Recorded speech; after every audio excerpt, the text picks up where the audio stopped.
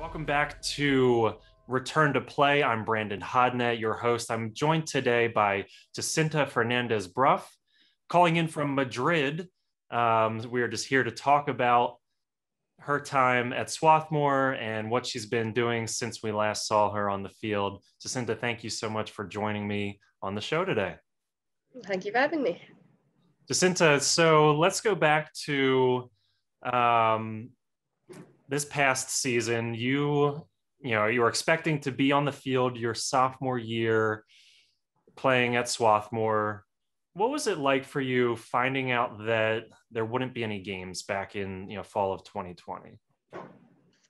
Um, not not fun. Um, I think.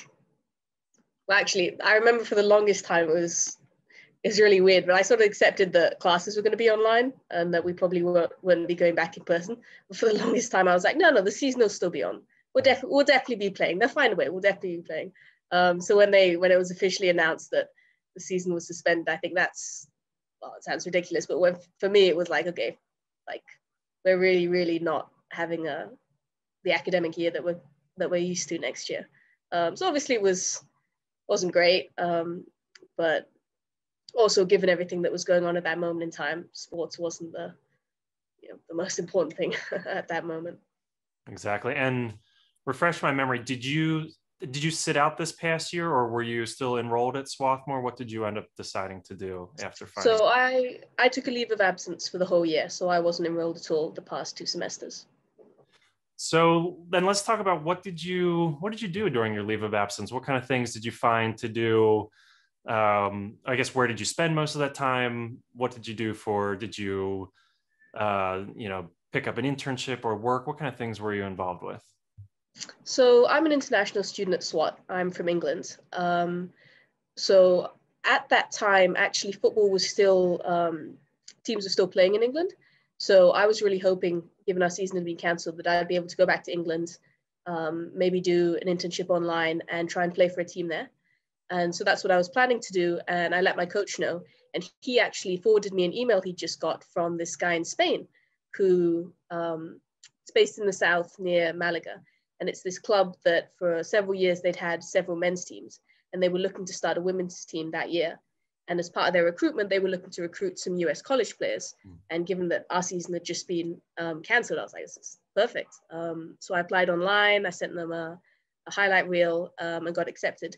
Um, so I wound up playing for this team called um, FC Malaga City in the south of Spain for a year. Wonderful. And can you tell us a little bit more about that experience playing with uh, FCMC?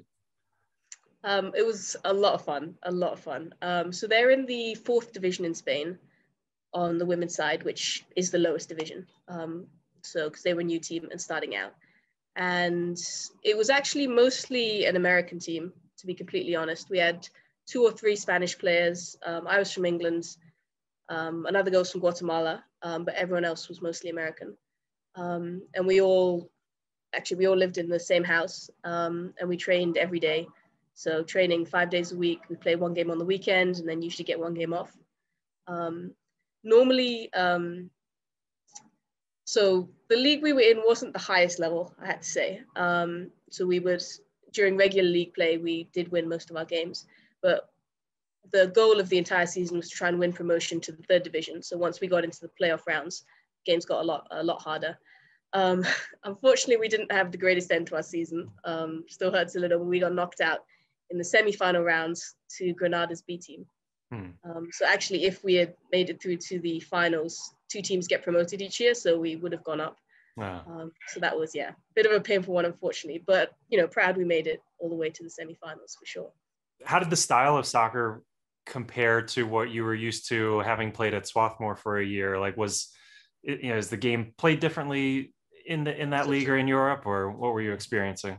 Completely different. Really? I have to say, as a, I'm a central midfielder, mm-hmm. and I absolutely fell in love with the way the Spanish play football. Um, I think, I mean, I think it's the the best form of football, to be honest. It's very, very different from America, very possession based. The hmm. idea is that you keep the ball because if you have the ball, you don't have to defend. And everything's sort of centered around that. Um, you've got their outside backs are encouraged to go up the field. Like if you're an outside back that doesn't get two or three crosses in during a game, you're not doing it right. You're expected to be overlapping with the wingers, overloading one side, overloading the other side. Um, you don't long balls are almost non-existent. Um, really? Um, like if you, if you play a long ball, chances are your coach is like, why why are you giving the ball away? It's very much like let's control it, let's get into their final third, let's get the ball out wide, cross it into the box, and let's finish off crosses. Um, and yeah, I I it's very fast. It's very one-two touch. Um, not as much individual dribbling. Um, it's very much there's more emphasis on playing as a team and less sort of moments of individual brilliance. Hmm. Um, it's also less physical, I will say, than the US style, which took a minute to get used to. I had um, several fouls during the first couple of games. Um, but yeah, no, I love I love the way the Spanish play football. Oh, that's great. What so what kind of formation were you guys playing? We usually played in a 4-3-3. Okay. Um, a couple of times we did a we play we went it sounds weird. It was almost like a 3-6-1, but hmm. we went three at the back, four midfielders, and then one strike, one striker on top of that. I know a lot of a lot of people that we'll be talking to had a hard time finding places to train and places to play and just you know finding ways to stay in shape with everything closing.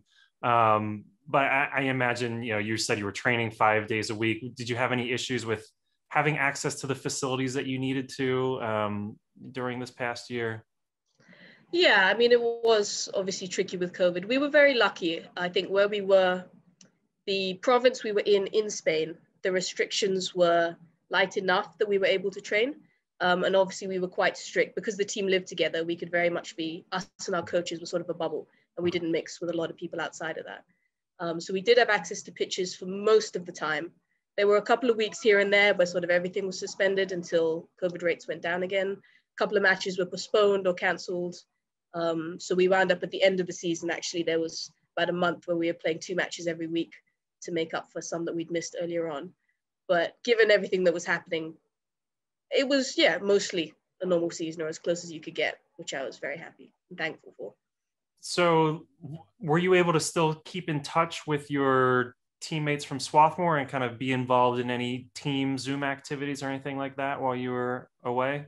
There are a couple of friends that I that I tried to call semi regularly with. Um, I know the team did a couple of Zoom calls. Unfortunately, given the time difference, right. it's about 3 a.m. here, so I didn't quite make them. Yeah. But we also have a summer email chain that's just got going again. So it's been really nice hearing, you know, just snippets of what everyone's been up to. And obviously really looking forward to seeing them all again at preseason. Yeah, absolutely. What's that moment going to be like for you in uh, middle of August when you're back on campus surrounded by your teammates? Oh, it's going to be weird. It's been so long. It's been it's been a year honestly since I've seen any of them. But no, it's going to be great. Um, I'm really looking forward to seeing everyone, being back at SWAT, back on our fields, also just meeting all the new players. I mean, about almost 50% of our team now I've never met. Um, so just getting to know everyone and how we play together as well. Um, but really, really looking forward to it. Oh, that'll be really exciting. You're going into your sophomore year, so I guess you haven't officially declared a major yet. What do you intend on studying? That's what, or majoring in. Um, not completely sure. I'm interested in political science and economics. Um, so I think I'll probably wind up majoring in one of those. Um, I'm also really interested in um, computer science, so would love to minor in that, but not quite sure how I'll combine all those three just yet. Have you had any classes so far that you really enjoyed at Swarthmore? Um, I was lucky enough to get into the um, Israeli Palestinian hmm. course my first year, um, which includes a trip um, to Israel Palestine over the winter break. So that was definitely one that stands out. Um, really, really interesting class, heavy class, but really interesting. Um, and very glad I took that one. Do you have any uh, predictions or anything about how the year will go for the women's soccer team at Swarthmore, or any uh, any hopes, expectations? Um, I mean, more of the same. I mean, when I came in my freshman year, they'd just come off winning a conference um, championship. So I'd love to, love if we can be in the running for maybe winning another one this year. We also made NCAA playoffs, so I'm really hoping that we'll be back there again this season. Thanks for listening to this episode of the Swarthmore Athletics Podcast. If you like what you heard, please subscribe, leave us a five star review, and share it with your friends.